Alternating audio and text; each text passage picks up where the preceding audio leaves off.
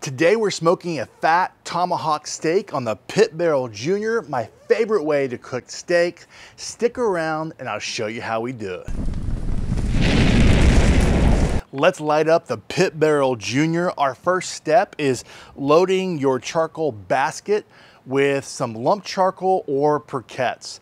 I use Jealous Devil today on this cook and I'm used to using lump. A lot of people like using briquettes to have a little bit more even cooking, but on the pit barrel, it averages 275 to 300 degrees on most of your cooks. I have not had any issues just using lump charcoal and it's my preferred method of cooking on my grills. So we're using Jealous Devil Lump XL, and then we're gonna be throwing in some wood chunks. This is post oak wood chunks that we're gonna throw on top. Um, and what you could do to light up your pit barrel is one or two ways. You could take your grill grate and lay it on the bars and then set this um, charcoal basket on top and light some fire starters and let it burn for 10 minutes uh, until you get that white ashed over charcoal and you're ready to go or you can get yourself a grill blazer gun just like this and light this charcoal in a minute and we're gonna set it below in the pit barrel. Make sure your bottom vent is set to your environment. And then we're gonna put these rods in and let it all come to temperature. And then we are gonna uh, take you into the kitchen and show you a preparation there. So let's fire it up.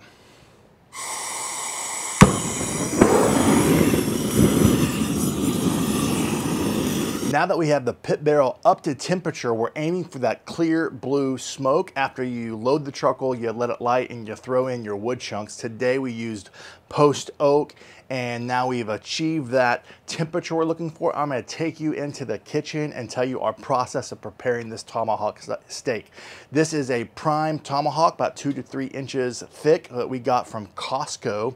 And I have salt brined this steak for over an hour. I'll link a article description uh, for you to check out if you've never done this process. It sucks out the moisture and sucks it right back in. It's a pretty great process for meat. And after we have salt brined that for about over an hour or so, we've patted it dry and now we are going to prepare it with the rest of the seasoning. Now before we um, marinate it or anything like that or use a binder, we are gonna drill a hole through the bone using a drill bit and you could just lay this flat and just drill it right through like so. I'll just show you as I'm talking and then you're all set and you can use your meat hooks just like this to put it through. Uh, and now we're gonna use a binder to prepare the rest of the seasoning. Uh, we're gonna be using Frank's hot sauce, which is one of my favorite things. It has a great smoke point and just adds um, a great process to it. You can use olive oil, duck fat spray, whatever you enjoy. Uh, people ask me, do I taste do I taste it? I don't taste that. I just think it has a great smoke point to it as we put rub on it.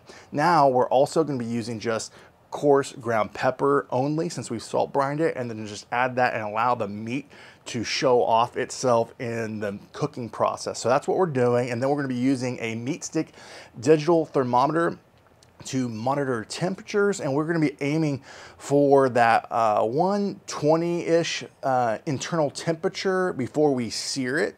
So we're going to hook it, we're going to hang it, and we're going to let it smoke until it hits that 120 and then I'm going to sear it. And I'm going to see uh, what it looks like when it gets to that 120. I'm going to probably use a grill grate that can hang down and you hang the steak and then I can take it off, put it on the grill grate and let it either build that fire and get a sear or I'm gonna use my grill torch. I'm just gonna see how the process goes and do either one. So stay tuned to see which way I go. If I use the uh, torch to sear it or put it on the grill grates, we'll just see how the process goes. But again, this is one of my favorite ways to cook steaks. It's just hanging it and allowing that convection heat hit that live fire hit uh, hit that steak and just amazing process. So let's go ahead and take the steak and put it on the pit barrel.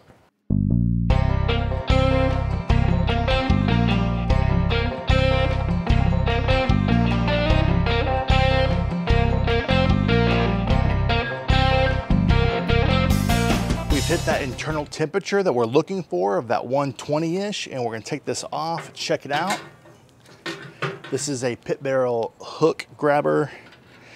Let's take the hook and look at that steak. I'm gonna bring you in so you can see Um, I'm hoping this comes through in camera, but you can just see uh, the color turning, not only on the bone, but that coarse ground pepper just stinging it out. So delicious. We're gonna put this down and begin to sear it for our final finish of this tomahawk steak.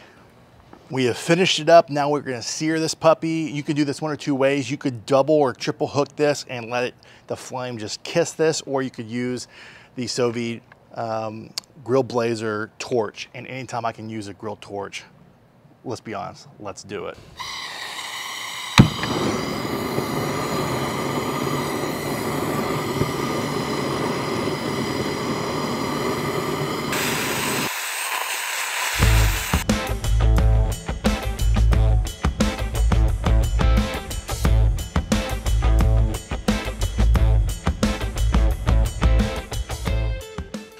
Finished up this amazing ribeye steak. I've got my Dalstrong Pitmaster knife. I'm taking you inside. We let this rest with foil for 10 minutes. After we did that, we used this Dalstrong knife to cut down the bone and then slice that steak. And then we used a great finishing salt. Um, if you haven't tried this, it just gives it some extra flavor. It's so good. And my wife and I have already done a few bites of this and it was delicious. This is by far one of my favorite ways to cook steak because it's just nothing like live fire cooking and it just does an amazing job. So let's do a little taste test on camera and uh, let you know what I think. Man, that was delicious that finishing salt and just the right amount of smokiness because there's just nothing like charcoal live fire cooking that gives it just that authentic, um, that authentic charcoal and kind of smoky flavor right over the open flame and then we torched it at the end. And so that was kind of our process is just in summary, we salt brine for an hour. Uh, we patted that dry, used it Frank's hot sauce, then we used just kosher, or I'm sorry, uh, ground coarse pepper on it. And then we hooked it, we drilled a hole in it, and then we hung it for 45 minutes. And that was the final result. It was just worth waiting for and such a fun process uh, to cook steaks this way. I encourage you, if you've never done this, to do it. Uh, if you don't have a pit barrel, they're really affordable. I have a link in my description.